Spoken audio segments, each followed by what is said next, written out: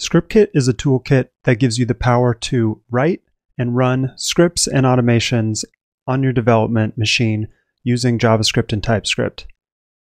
You can do just about anything with ScriptKit, and in this video I'm going to walk through a few features that allow me to, in a few lines of code, navigate to and display one of my Today I Learned posts. So for starters I want to look at the div function, which allows me to display text in a pane that's provided by ScriptKit. So I've already got this first line which awaits div and provides it a message that I want to print. So all I need to do is trigger the script, which I can do by hitting command semicolon, which will open up the runner. And then I can navigate through here. It's this view a TIL that I'm looking for. And if I run it, we'll see it displays hello ScriptKit.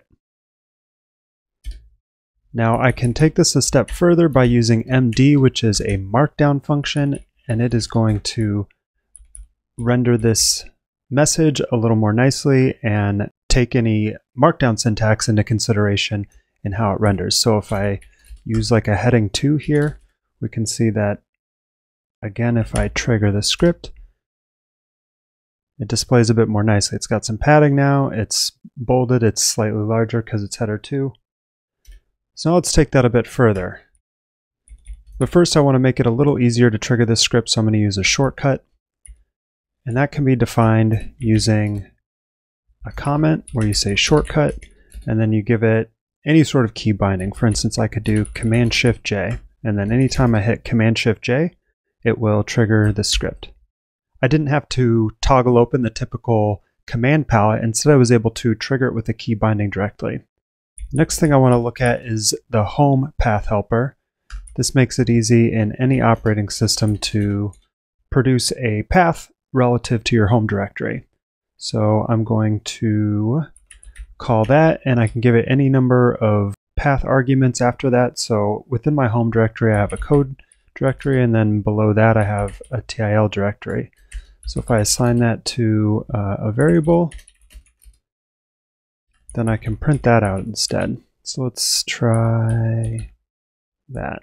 And I'm going to to swap out that syntax so that it interpolates. And now if I trigger that with Command Shift J, we can see I'm displaying this path instead.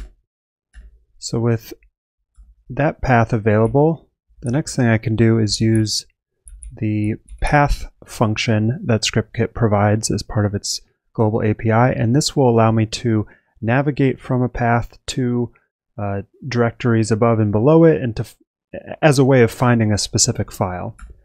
So I want to be able to find files in my TIL project directory. So I'm going to use path as a way of navigating there.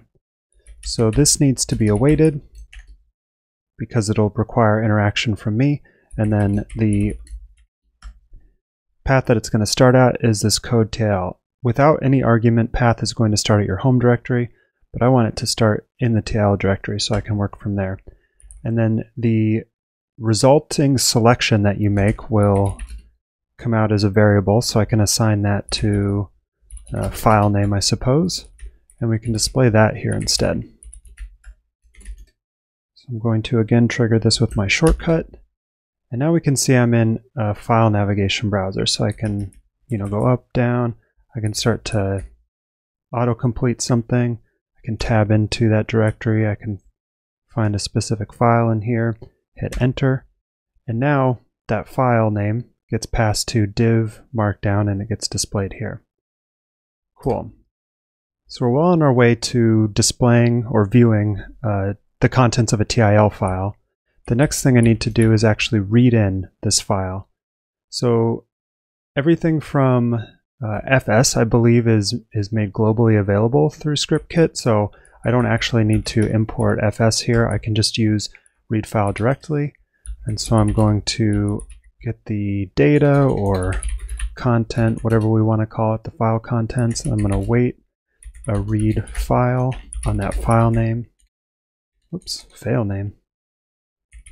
File name, and then I believe I need to pass it an encoding.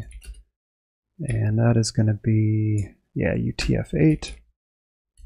Great save that, and then, yeah, the the file contents that are going to come out of here are going to be Markdown. That's what I write all my TILs in. So I can just pass that directly into here, and the Markdown rendering will then know how to process that. So let's go ahead and hit Command-Shift-J and see how that looks. Can navigate to a specific file. I can scroll down, find something that I'm interested in, hit enter. And now it's displaying the contents of the file right here in ScriptKit. I can scroll down, I can read the whole thing. We see that uh, code blocks are rendered nicely. See that links are being rendered. I could click through to that if I was interested in doing so. We get the header.